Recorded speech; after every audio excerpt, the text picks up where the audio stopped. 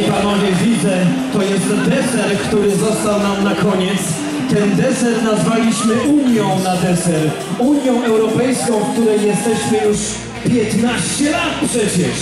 15 lat w Unii Europejskiej, więc Unia na deser, który to już kraj 16 czy 17, za chwilę to wszystko policzymy.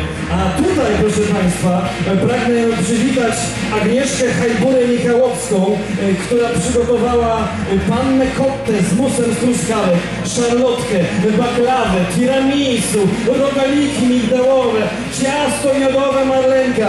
E, W zespole była też Sandra Pipiek, którą gorąco z tego miejsca pozdrawiamy i życzymy szybkiego powrotu do zdrowia. Sandra robiła tarteletki, serniczki cytrynowo-limonkowe, petit foie, y, lizaki z czekoladowego ciasta z nutellą. A więc proszę Państwa, teraz wszyscy na rynku we Wrocławiu przywitajmy i pozdrówmy wszystkich siebie, nas, Europejczyków, Wrocławian, Polaków, ludzi z wszystkich krajów Europy, Unii Europejskiej, bo przed nami podnieście ręce do góry!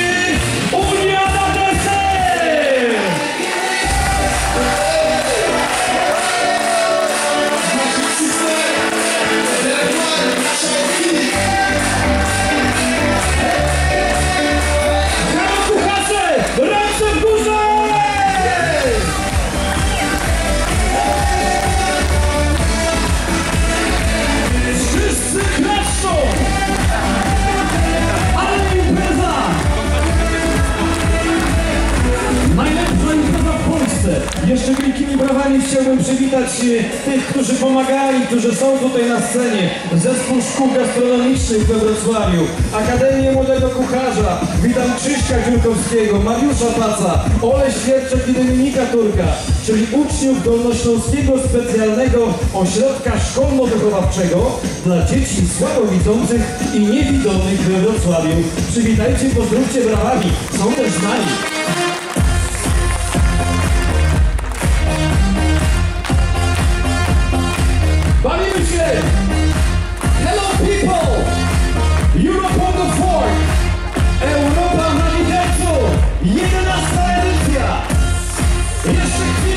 Głos na wieży